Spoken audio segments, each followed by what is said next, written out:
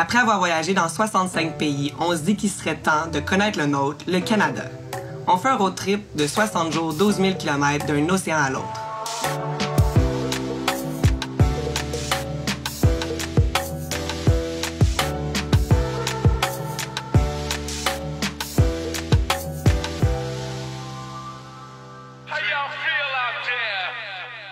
On longe les côtes de la Gaspésie pour arriver au nord-est du Nouveau-Brunswick. On se sent immédiatement ailleurs. Les couleurs acadiennes nous entourent et on ressent tout de suite la fierté de cette région. Historiquement, l'Acadie était une colonie de la Nouvelle-France. C'est pourquoi les descendants acadiens parlent aujourd'hui le français. Allez, viens! Allez, viens! La!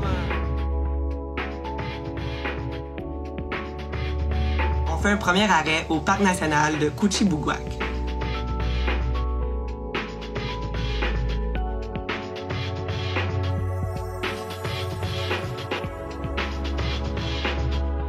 On emprunte la passerelle pour se rendre à la plage Kelly's, une immense plage de sable blanc avec 25 km de dunes de sable. Puis au Nouveau-Brunswick, les plages, ben, elles sont faites pour se baigner. On y retrouve les plages d'eau salée les plus chaudes du Canada. La température de l'eau peut monter jusqu'à 29 degrés Celsius.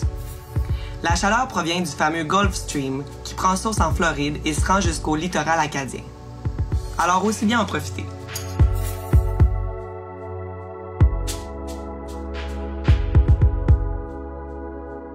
Après ça, on reprend la route jusqu'à Chidiac. Le Nouveau-Brunswick, ça se résume en trois mots.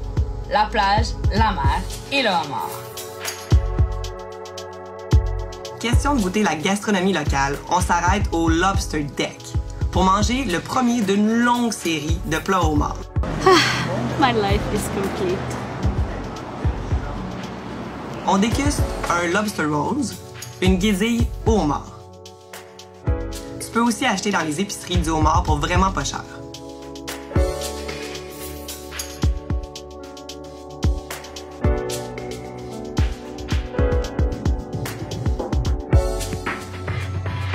Ensuite, on se dirige vers le sud en direction du parc national Fundy. Fun. Dis! Fun. Dis! Fun. Dis!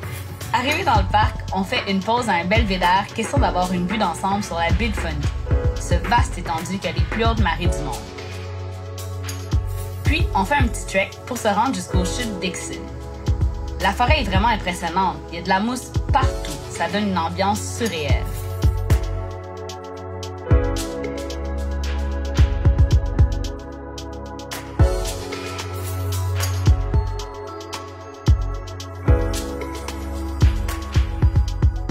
C'est étrange de voir les bateaux hors de l'eau à marée basse. C'est fou pareil.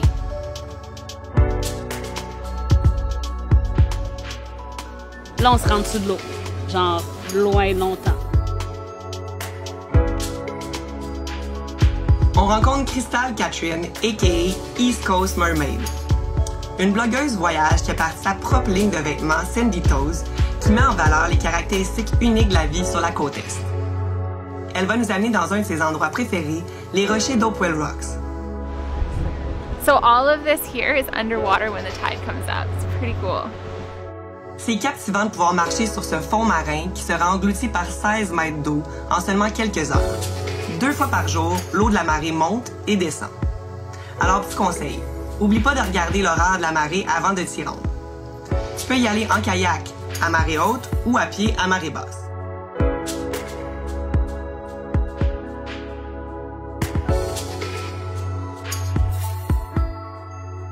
I think people should come to New Brunswick because we have some of the most gorgeous beaches you're going to see anywhere.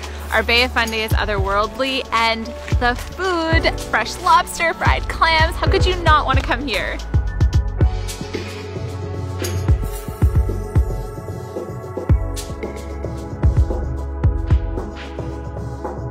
Connais-tu Moncton? C'est une ville universitaire qui est à seulement 25 minutes de la plage. À notre arrivée, on fait un arrêt au nouveau Beer Garden, Houston Park Social. C'est le chef Jim Cormier qui a travaillé dans des cuisines d'hôtels à Singapour, Shanghai, Doha, Miami et New York qui a décidé de revenir chez lui pour ouvrir son propre restaurant dans un container. On va pas s'en plaindre.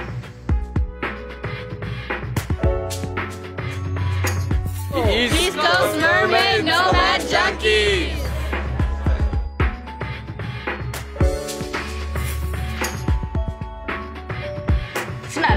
on peut pas quitter le Nouveau-Brunswick sans retourner une dernière fois à la plage. On s'arrête à la fameuse plage de La Boiteau près de Cap Pelé.